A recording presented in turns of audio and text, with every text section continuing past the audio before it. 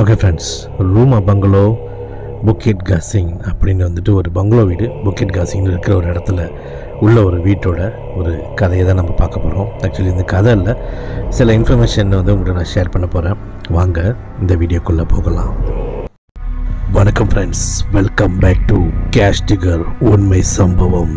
நம்ம சேனலுக்கு இன்னும் சப்ஸ்கிரைப் பண்ணாதவங்க மறக்காமல் சப்ஸ்கிரைப் பண்ணிக்கோங்க. இந்த வீடியோவை உங்கள் இயர்ஃபோன் யூஸ் பண்ணி பாருங்க.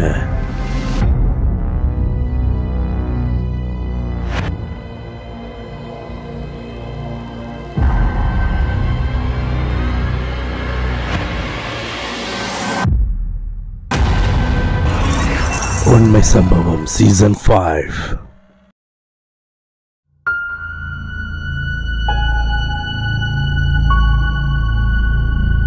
ஓகே ஃப்ரெண்ட்ஸ் இந்த ரூமா பங்களோ புக்கெட் காசிங் இது வந்து பல பேர் வந்துட்டு பல விதமான சோர்ஸ்லேருந்து நீங்கள் இந்த கதையை கேட்டிருப்பீங்க. அதாவது யூடியூப் சேனல்லே பல சேனலில் பேசியிருக்காங்க. அதுக்கப்புறம் பல ஆர்டிகல்ஸும் வெளியாயிருக்கு.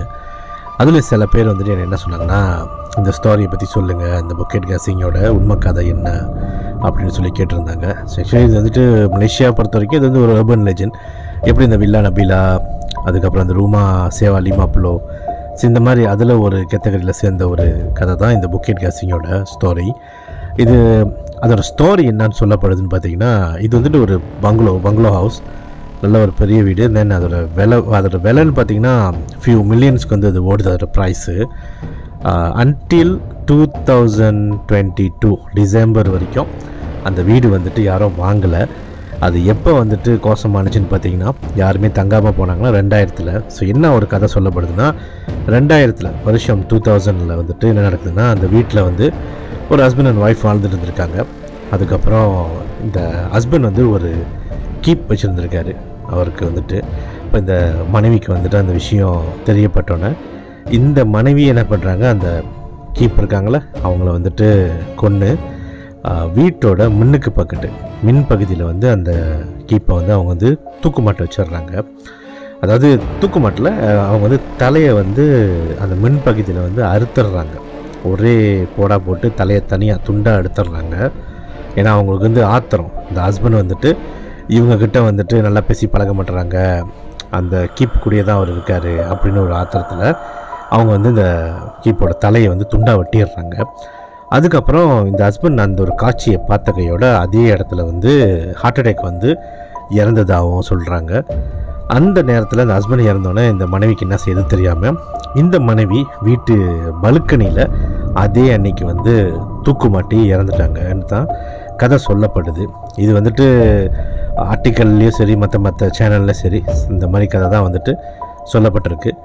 ஆனால் இது வந்துட்டு உண்மையாக பொய்யான்னு வந்து யாருக்குமே தெரியல. பக்கத்து வீட்டு அந்த நேபர்ஸ்கிட்டையும் ஆளுங்க கேட்கும்போது அந்த மாதிரி எதுவும் இல்லை. இது வந்துட்டு சில சில பிளாக்ஸ் இருக்குல்ல இந்த மாதிரி ஆர்டிகிள்ஸ் எழுதுறவங்க வந்துட்டு சும்மா அந்த மாதிரி ஒரு சென்சேஷனுக்காக வந்து இந்த மாதிரி ஸ்டோரி போட்டிருக்காங்க. அப்போ தான் வந்து ஒரு வீட்டில் மூணு ஆத்மா உலாவது உலாவுது. மூணு பேர் உயிர் விட்டுருக்காங்க. அந்த மாதிரிலாம் சொன்னாக்கா ஒரு அட்ராக்ஷனுக்கு அதாவது ஒரு ஃபேக் நியூஸ் மாதிரி வந்து வெளியாக்கியிருக்காங்க. அப்போ தான் அவங்களோட ஆர்டிக்கல் நல்லா ஓடும்ல. ஸோ அதனால் வெளியாக்கின ஒரு ஸ்டோரி தான். மக்களுங்க வந்து அதை நம்பிட்டு இப்படி பேசுகிறாங்க ஏன்னா ஒரே வீட்டில் வந்து கொடூரமான நிலைமையில் வந்து ஒரு மூணு ஆள் இறந்துருக்காங்கன்னா கண்டிப்பாக அந்த ஆத்மா சுத்தம் நெகட்டிவ் எனர்ஜி இருக்கும். ஸோ அந்த மாதிரி அந்த அந்த கதையை வந்து அப்படியே பில்டப் பண்ணி கொண்டு போனது தான் இந்த முக்கிய காசிங்கோட கதை. ஆனால் ஆக்சுவலி அந்த பக்கத்து வீட்டு நேபர் கூட அந்த கதை தெரியாது. ப்ளஸ் சில சில அந்த டைம்லேருந்து இது வரைக்கும் பார்த்தீங்கன்னா பல விதமான பேரனாமல் ஆக்டிவிட்டி செய்கிறவங்க வந்துட்டு வீடியோலாம் வீடியோ எடுத்திருக்காங்க சில பேருக்கு சில காட்சிகள் அமிட்டிருக்கு சில பேருக்கு வந்துட்டு எதுவுமே இல்லைன்னு சொல்லி போட்டிருக்காங்க. ஸோ அதை எது நம்ப முடியல நம்ப நம்புறது நம்ப முடியாதுன்னு நம்மளுக்கு தெரியாது. ஆனால் இன்னொரு ஆர்டிக்கல் நான் படிக்கும்போது என்ன போட்டிருந்தாங்கன்னா ஆக்சுவலி இந்த வீடு வந்துட்டு ரெண்டாயிரத்துலேருந்து வீடு கோசம் வீடு கோசமாக இருந்திருக்கு. அதுக்கப்புறம் இந்த வீடை வந்து விற்றுருக்காங்க ஸோ யார் விற்றுருக்கான்னு பார்த்தா இந்த வீடு ஆக்சுவலி ஓனர் வந்து சைனீஸ் கிறிஸ்டியன் அவர் வந்துட்டு அவர் வந்து கான் தான் சொல்கிறாங்க அவர் வந்து இந்த வீடை வந்துட்டு அவர் தான் வச்சுருந்துருக்காரு. ஸோ ஆக்சுவல் ஓனர் வந்துட்டு அவர் பேர் வந்துட்டு ரேமன் கோ ஒரு சைனீஸ் கிறிஸ்டியன் அவர். அவர் வயசு இப்போ ஏறக்குறைய வந்துட்டு அறுபத்தி ஒன்று அறுபத்தி ரெண்டு வயசு இருக்கும். இந்த வீடை வந்து பதினஞ்சாந்தேதி மூணாம் மாதம் ரெண்டாயிரத்தி பதிமூணு தான் பேங்க் கிட்ட வந்துட்டு அடகு வச்சுருக்காங்க. அதாவது காடாய் பண்ணியிருக்காங்க.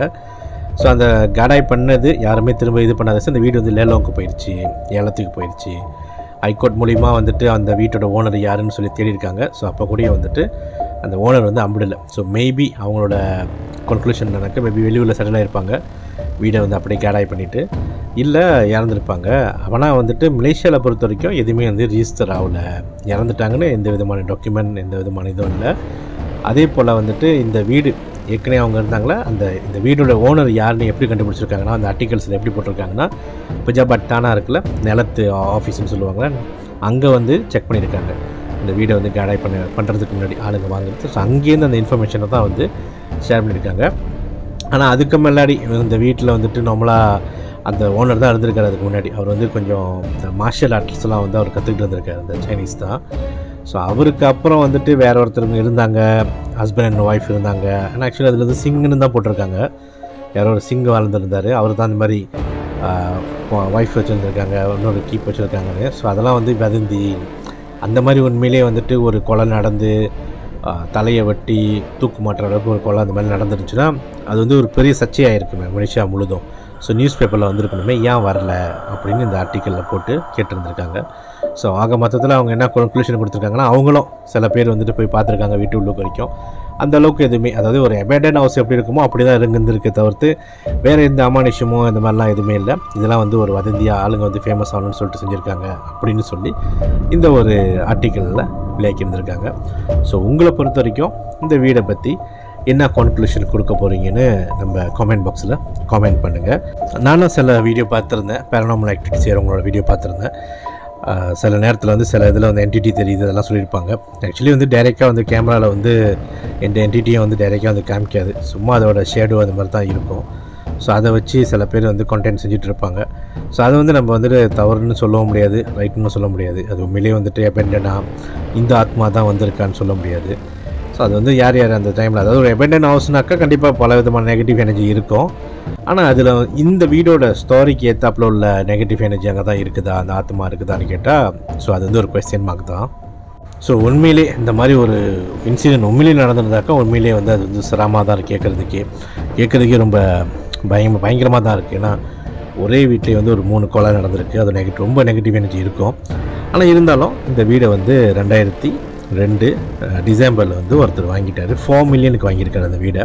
ஸோ இதுதான் ஃப்ரெண்ட்ஸ் இந்த புக்கேட் கசிங்னு எடுத்துக்கிட்டால் இந்த புக்கேட் கசிங்னு ஒரு பங்களோ இருக்குது ரொம்ப சிரமமாக இருக்கும்னு சொல்லி பல வித பல இடத்துல நம்ம கேள்விப்பட்டிருப்போம். ஸோ அதோட உண்மை ஸ்டோரி இதுதான். அதாவது நான் படித்த வெர்ஷனில் நான் படித்த ஆர்டிக்கலில் வெளியே வந்த ஸ்டோரி இதுதான். ஐ மீன் நான் ஒரு மூணு ஆர்டிக்கல் நான் வந்து ரிஃபர் பண்ணேன். அதில் கிடைச்ச இன்ஃபர்மேஷனை தான் இன்றைக்கி நான் உங்கள்கிட்ட ஷேர் பண்ணியிருக்கேன். ஸோ எப்படி இருந்துச்சுன்னு மறக்காமல் நம்ம கமெண்ட் பாக்ஸில் கமெண்ட் பண்ணுங்கள் அப்படி ஒருவேளை நீங்கள் அந்த வீட்டுக்கு போயிருக்கீங்க இல்லை அந்த பாதையாக போகும்போது உங்களுக்கு ஏதாவது ஒரு அமானுஷமாக தென்பட்டுச்சு உங்களுக்கு ஏதாச்சும் ஒரு உண்மை சம்பவம் இல்லை அந்த வீட்டுள்ளுக்கே போய் நீங்கள் வந்து பேரனாமல் பண்ணியிருக்கீங்க அந்த மாதிரினாக்கா அந்த ஸ்டோரியை நம்மக்கிட்ட நீங்கள் ஷேர் பண்ணலாம். இந்த வீடியோ உங்களுக்கு பிடிச்சிருந்தா லைக் கொடுங்க ஷேர் பண்ணுங்கள் நம்ம சேனலுக்கு இன்னும் சப்ஸ்கிரைப் பண்ணாதவங்க மறக்காமல் சப்ஸ்கிரைப் பண்ணிக்கோங்க. மீண்டும் அடுத்த ஒரு மாதம் சம்பத்தில் சந்திக்கும் வரை சைனிங் ஆஃப் கேஷ் டிகா